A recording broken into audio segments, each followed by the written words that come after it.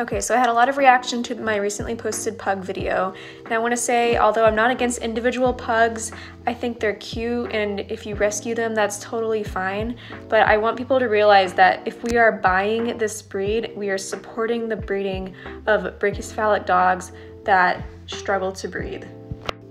I have two skulls with me here. One is of a normally structured canine and one is of a brachycephalic breed. This one is a bulldog. Now if you compare the two, you can clearly see how we've put this breed at a structural disadvantage. They have no sinuses to cool the air down, which is why they often suffer from heat stroke. And although you can't see it with just their skull, they typically have a lot of extra tissue back here that really prevents them from breathing properly. I had a lot of people say that their dog was the exception, and of course there's going to be some that are more affected than others. But in my opinion, why potentially sacrifice the health of your dog for looks?